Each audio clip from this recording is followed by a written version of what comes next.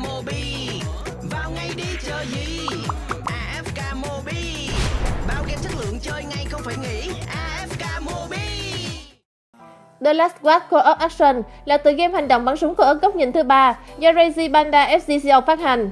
Tham gia vào game, bạn sẽ phối hợp cùng với những người chơi khác trong các nhiệm vụ chiến đấu sinh tồn tiêu diệt bọn thây ma.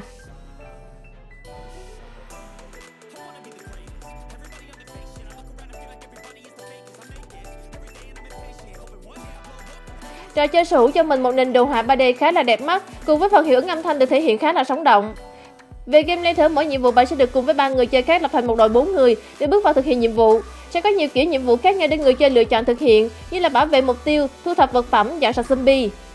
Khi thực hiện các nhiệm vụ thì toàn đội sẽ vừa cố gắng hoàn thành mục tiêu của nhiệm vụ, vừa chiến đấu sinh tồn trước bọn zombie. Bởi vì bọn sát sống xuất hiện liên tục xuyên suốt khoảng thời gian của nhiệm vụ và sẽ xuất hiện ngày một càng nhiều hơn. Cho nên bạn sẽ phải cố gắng phối hợp với các đồng đội để hỗ trợ lẫn nhau trong việc sinh tồn, cũng như chiến đấu tiêu diệt zombie.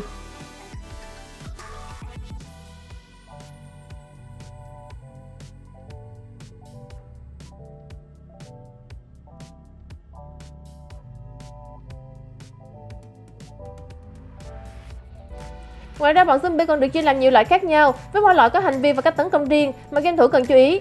Và còn chưa kể đến việc lượng đạn, vật phẩm hồi phục và lựu đạn mà nhân vật đang theo sử dụng sẽ có giới hạn trong các nhiệm vụ. Những thứ này sẽ không có rơi ra từ zombie hay là xuất hiện dọc đường, vì vậy mà bạn cần phải sử dụng một cách cẩn thận.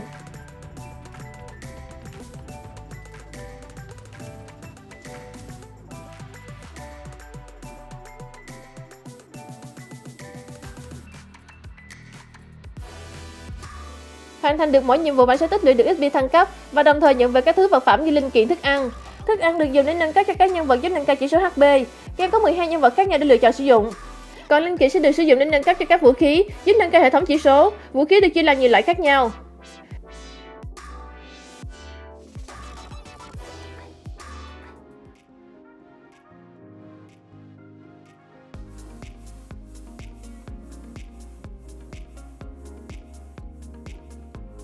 Người chơi có thể chọn ra hai món vũ khí để mang vào sử dụng trong các nhiệm vụ, với một là món vũ khí chính, một là món vũ khí phụ.